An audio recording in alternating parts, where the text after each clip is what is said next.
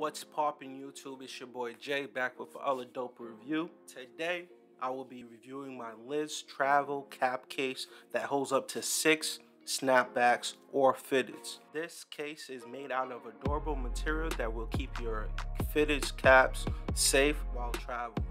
Right now, they're going for about 25 to $35 depending if you do the lids version or the new era cap case.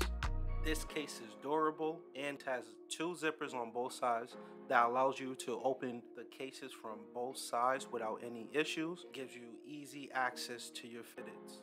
I usually travel with six snapbacks and have no issues with them getting squished.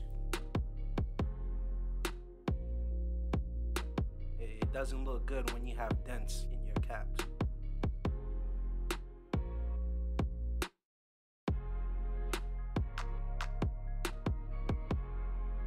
Adjustable feature on the side of the case just allows you to kind of make make the case a little bit more secure and tighter um, if you want it really to, to protect your, your caps.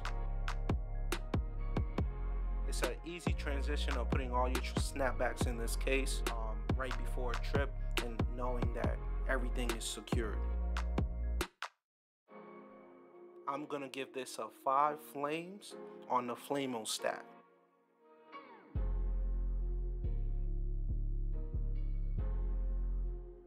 I always use the snap hooks to attach the case to my backpack while traveling.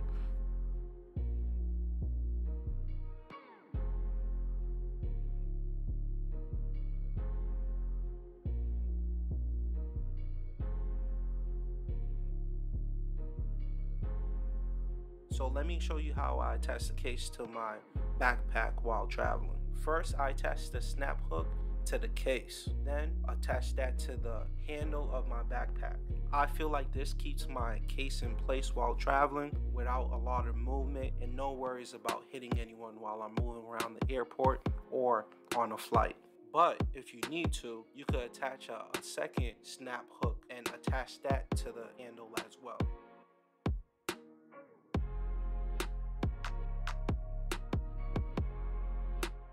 I also attach the snap hook to the backpack shoulder strap. This allows me to control the case and feel comfortable that I know where the case is at all time.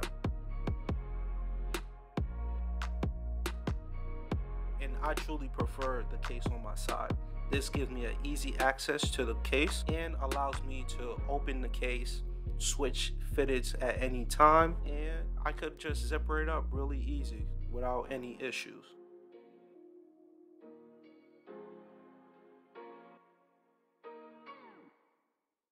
In the comments, let me know how you travel with your fitted, your snapbacks, wherever you rock. And please like, comment, and subscribe to the channel.